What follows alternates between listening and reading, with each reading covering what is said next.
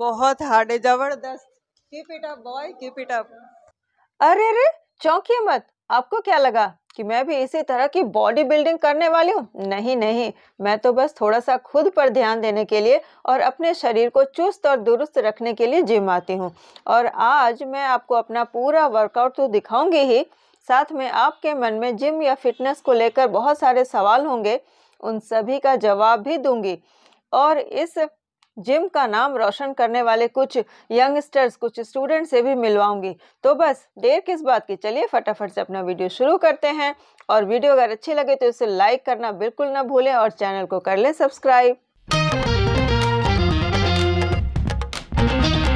Hello, मैं हूँ मनीषा और आप देख रहे हैं मनीषा स्टूडेंट ट्रेवल स्टूडियो और आज का वीडियो मेरा बिल्कुल अलग होने वाला, क्योंकि आप देख रहे हैं मैं कहाँ खड़ी हूँ।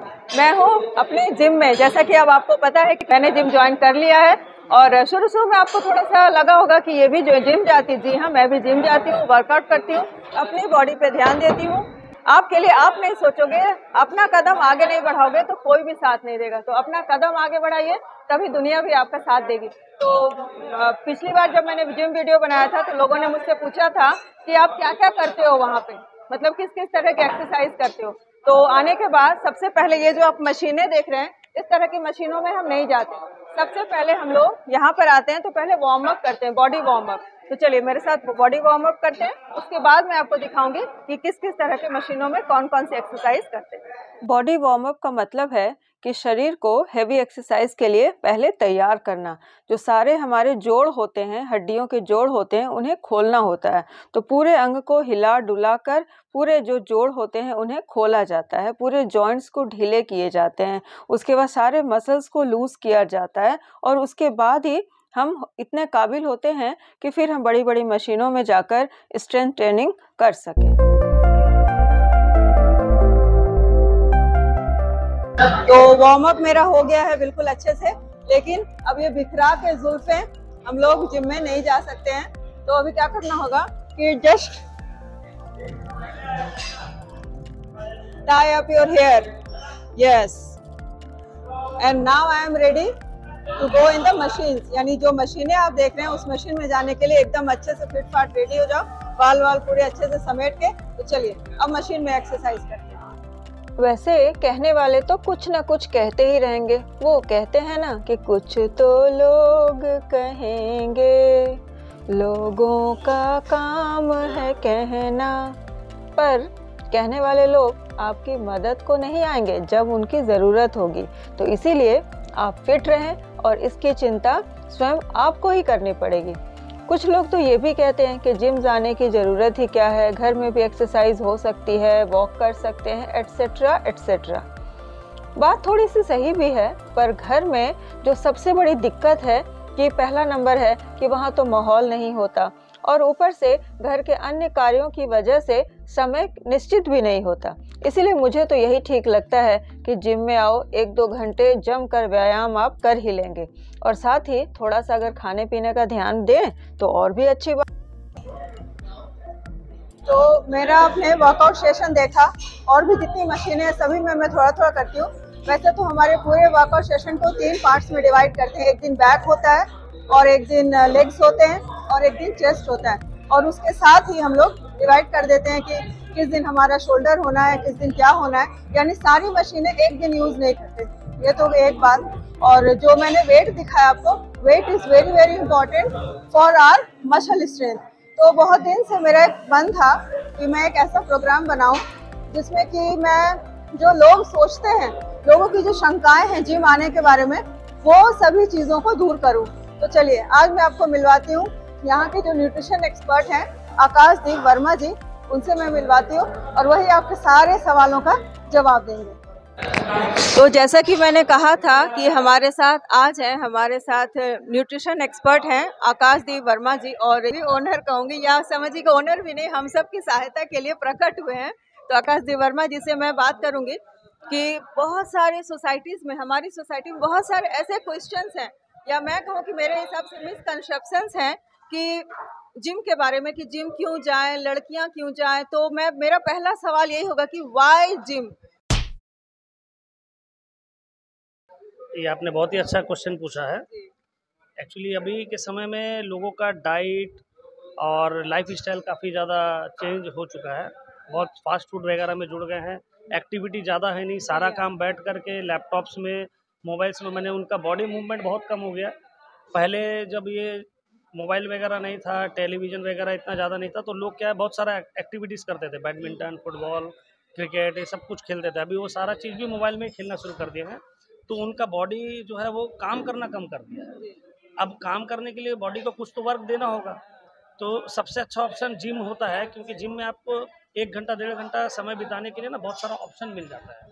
अलग अलग बॉडी पार्ट को ट्रेन करने के लिए बहुत सारे ऑप्शन मिल जाते हैं। आफ्टर थर्टी इयर्स जिम जाना कंपलसरी होना चाहिए।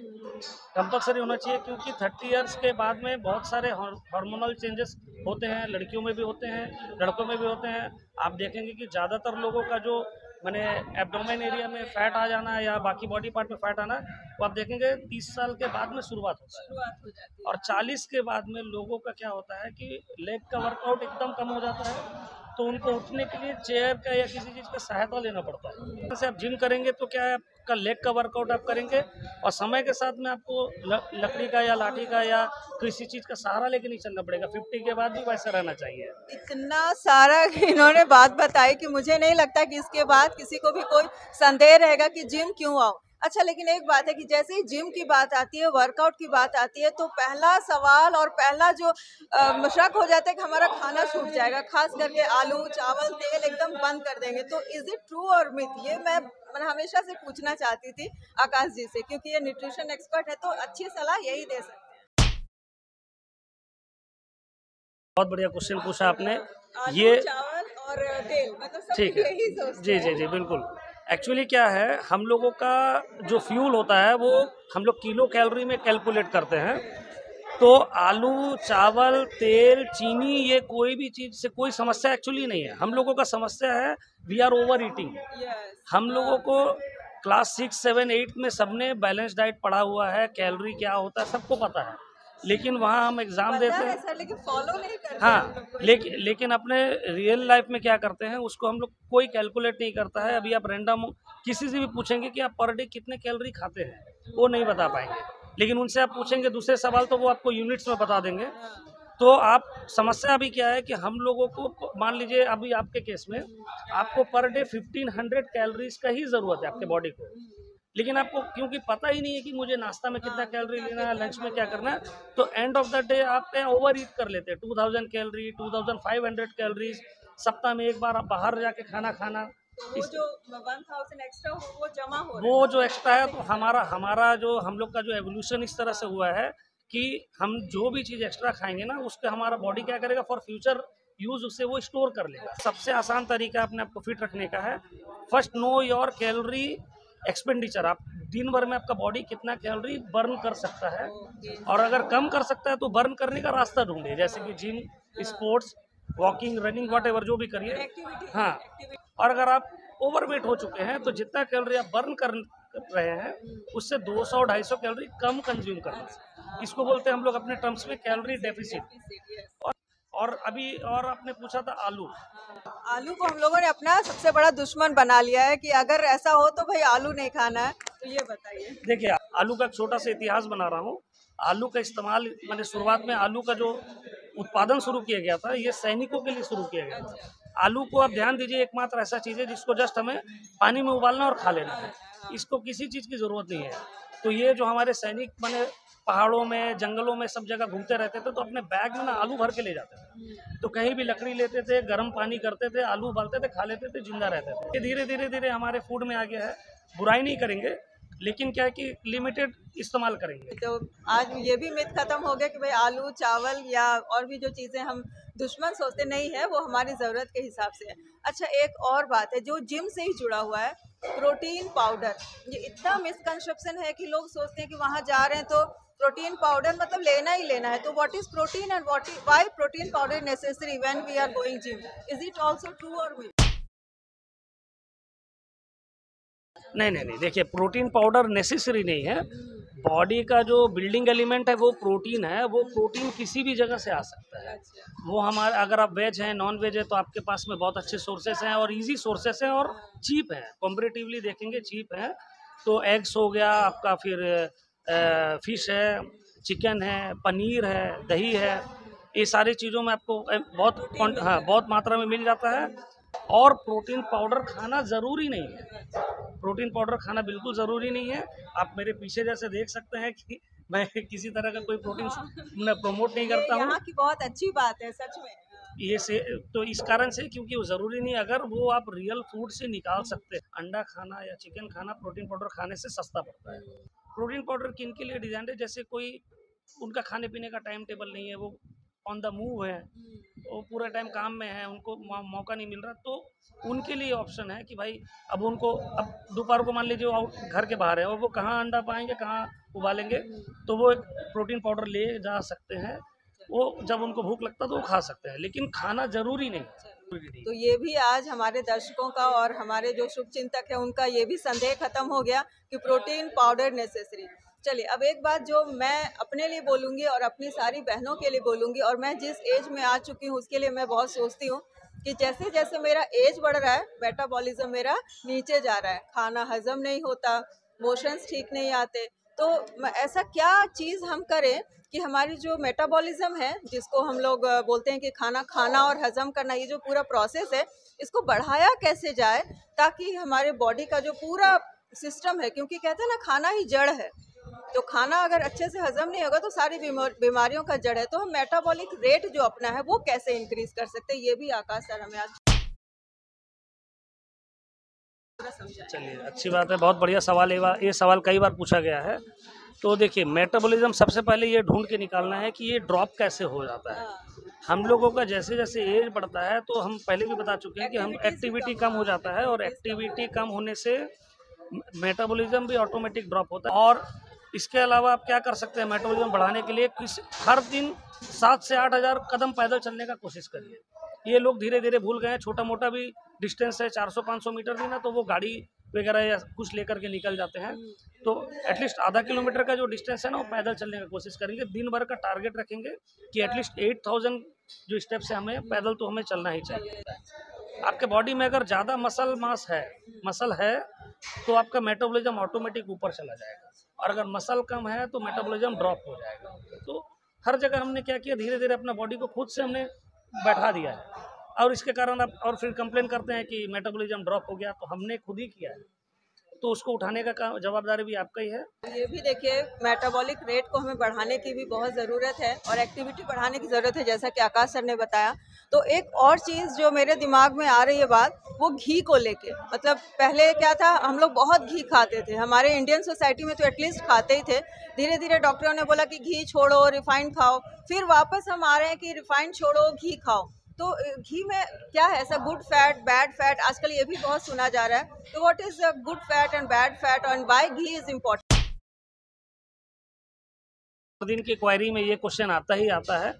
और घी के साथ साथ मैं एक चीज़ और छोटा सा ऐड कर दूँगा that is egg yolk egg का जो जर्दी होता है उसको भी लेकर के सेम मिसकॉन्सेप्शन है।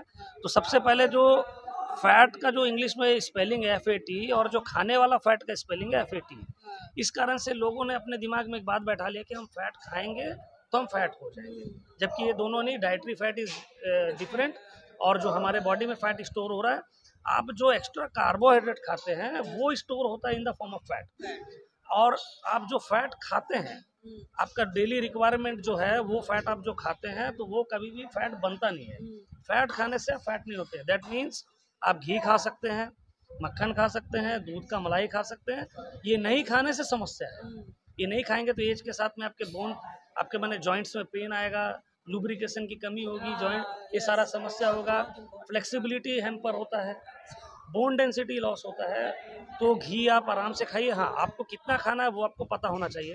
तो एग का योग होता है या इनमें क्या होता है ओमेगा थ्री मछली मछ फ़िश ऑयल फ़िश ऑयल जो होता है फ़िश में जो मिलता है वो ओमेगा थ्री है। अखरोट में मिलता है। जैसे बहुत लोग बोलेंगे कि भैया हम तो मछली नहीं खाते हैं हम वेजिटेरियन हैं वो अखरोट खाइए। अखरोट में है। और आपका आलमंड आप देख ले यूज़ कर सकते हैं। नट्स हाँ नट्स में भी पाया जाता है। तो हमें हमारे बॉडी को omega three that is good fat वो लेना है। Thank you Akash ji. Akash sir हमारे तो सर ही हैं। बहुत बहुत धन्यवाद आपका इतने सारे क्वेश्चंस और इसके बाद मैं और दस बारह क्वेश्चन ढूंढ के रखूँगी ताकि और भी लोगों का जो मिसकंसेप्शन वो सारा दूर हो जाए। लेकिन आज मेरे ख्याल से हमारे जितने व्यूवर्स हैं, दर्शक हैं, मेरी बहनें भी देख रही होंगी कि भाई हमें जिम जाना चाहिए। तो उन सारे लोगों का ये जो था, संदेह था, जितना शक था, जितना दिमाग में, जो भी जितने भी सारे थे, वो सारे निकल गए होंगे। तो और भी ढूंढ के रखूँगे और आपके भी क्वेश्चन होंगे तो वो मुझे कमेंट करके चलिए बताते रहिए। आकाश जी, आपका फिर से बहुत बहुत धन्यवाद। बहुत बहुत धन्यवाद। मुझे बहुत खुशी मिलता है इस तरह की जानकारी देने में। चलिए अब हम अपने प्रोग्राम को आगे और बढ़ाते हैं।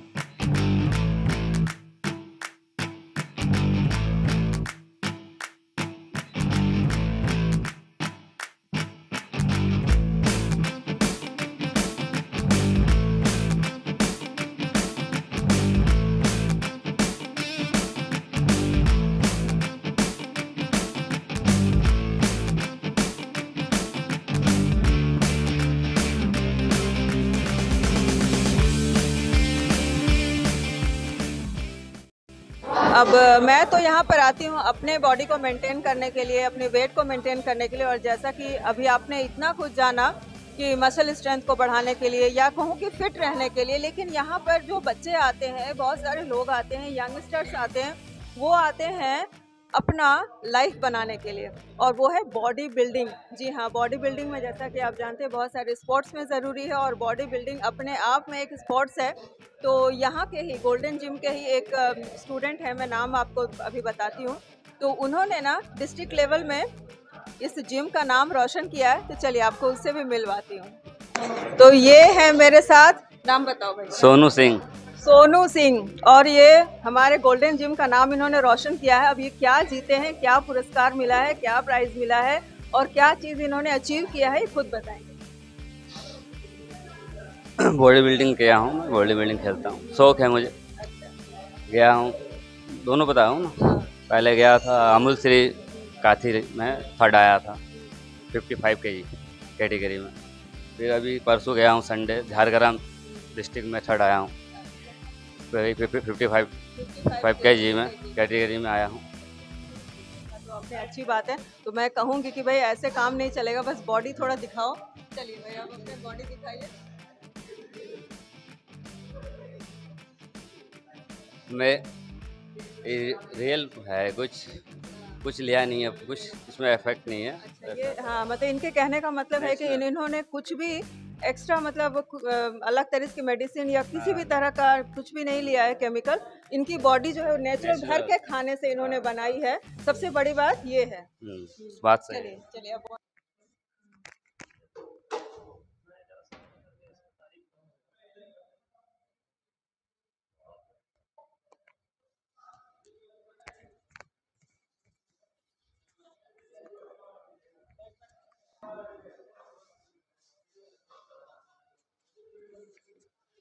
बहुत हार्ड है, ज़बरदस्त।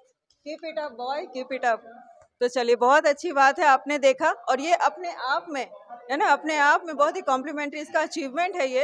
ये अपनी बॉडी पर इतना ध्यान देते हैं। तो अभी आकाश जी भी इसके बारे में कुछ कहना चाहते हैं। आकाश सर, आइए। हाँ।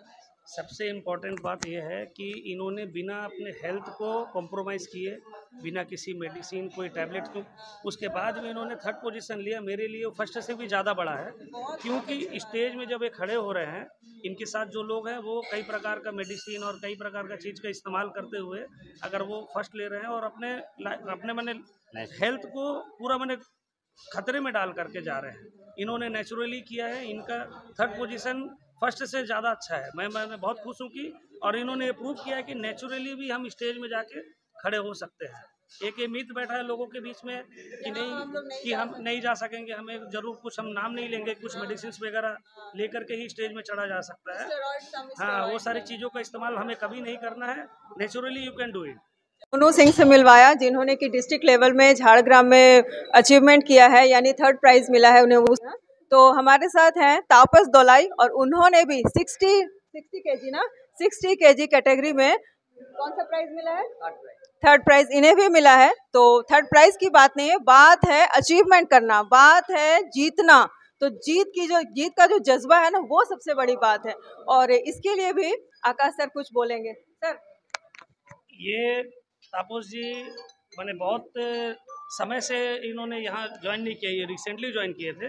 इन्होंने मुझसे एक दिन आके पूछा कि भैया ये कंपटीशन वगैरह कैसे खेला जाता है, कैसे जाते हैं, क्या करते हैं? तो मैंने ये इनका पहला प्रयास था। फ़र्स्ट टाइम ये गए हैं। इन्होंने इनके मदद से पोजिंग वगैरह कैसे करना है, ये सब सीखा है। तो एक्चुअली इनके जो जीतने में हमारा जो योगदान है, उससे ज़्यादा सोनू जी का योगदान है। तो यहाँ पर ये कहूँगी कि इनको मेहनत करने, मैंने देखा इनको मेहनत करते कि मैं जब भी सुबह आती थी, मेरे से पहले आते हैं और मतलब बिना नागा, जिसको हम लोग बोलते हैं ना विदाउट एनी एबसेंट हमेशा आना और दो तीन घंटे जिम में बिताना तो बहुत अच्छा बहुत अच्छा किया आप लोगों ने। इसी तरह खड़गपुर का नाम रोशन करते रहिए आप और सोनू जी। और सर, आपका योगदान तो है ही है कि समाज को ही जिम दिया तभी लोग और और इनके इनके गाइडेंस में थे, हमारे तरफ़ से थे तो इनको भी मैंने यही बोला कि आप जीत हार मत देखिए। आप नेचुरली जाइए नेचुरल बॉडी बिल्डिंग के हिसाब से जाइए, जीत हार की बात नहीं है, आपका एक एक्सपीरियंस होगा। आप वहाँ अगर आपका कोई पोजीशन नहीं भी लगता तो भी आप वहाँ से अपना एक्सपीरियंस जो है वो जीत के ही आते हैं। तो इन्होंने भी नेचुरली पूरा मैंने प्रैक्टिस वगैरह किया है। इन, इनके साथ मिल करके पोजिंग वगैरह करके इन्होंने फ़र्स्ट टाइम अटैम्प्ट करके इन्होंने ये किया है। वो बहुत बड़ी बात है। इतने सब लोगों के बीच में भीड़ में जा करके फ़र्स्ट टाइम खड़े होना भी अपने आप में बड़ी बात है। तो हम तो बोलेंगे बहुत फाइटर हैं ये। बहुत बहुत बड़ी बात है। तो आकाश जी का, तापस दोलाई का और सोनू सिंह का एक बार फिर से बहुत बहुत धन्यवाद। तो चलिए, अब मैं अपना प्रोग्राम यहीं पर ख़त्म करती हूँ और आप मुझे फटाफट से कमेंट करके बताते रहे कि मेरा आज का वीडियो और इन बॉडी बिल्डिंग के साथ, यानी बॉडी बिल्डर्स के साथ जो मैंने वीडियो बनाई है, वो आपको कैसी लगी है? तो मैं आपको मिलती हूँ अपने किसी अगले इंटरेस्टिंग सी वीडियो में। तब तक के लिए bye bye and have a nice day bye कीजिए सब लोग। Thank you